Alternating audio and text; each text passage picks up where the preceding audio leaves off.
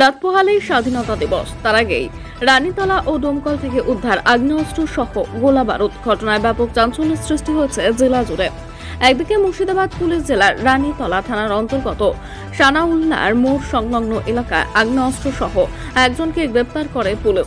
অপরদিকে ডোমকল থানা এলাকায় একটি মাস্কেট ও এক রাউন্ড কার্তুজ সহ একজনকে গ্রেপ্তার করে পুলিশ। পুলিশ সূত্রে খবর, রানীতলা সানাউল্লার মোড় থেকে সাফিকুল ইসলাম নামক এক ব্যক্তির কাছে তল্লাশি চালিয়ে উদ্ধার করে লোহার তৈরি বেশি, তেরো ইঞ্চের বারো বোরের একটি বন্দুক। ঘটনায় গ্রেপ্তার করা হয় যুবককে। আগ্নেয়াস্ত্রটি কী কারণে মজুত রাখা হয়েছিল জানতে এবং ঘটনার বিস্তারিত তদন্তের সাথে পাঁচ দিনের পুলিশে হেফাজতের আবেদন জানিয়ে ধৃতকে আজ আদালতে তোলা হয়েছে বলে খবর।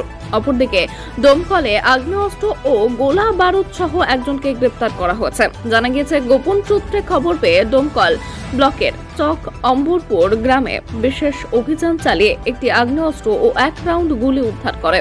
ঘটনায় গ্রেপ্তার করা হয় আহাসান শেখ নামক এক ব্যক্তিকে। উক্ত আগ্নেয়াস্ত্র ও গোলা বারুদ কি কারণে মজুত করা হয়েছিল জানতে ইতিমধ্যে তদন্ত শুরু করেছে দমকল থানার পুলিশ।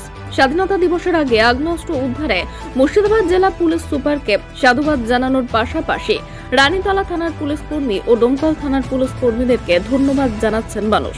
মুর্শিদাবাদ থেকে রফিকুল ইসলামের রিপোর্ট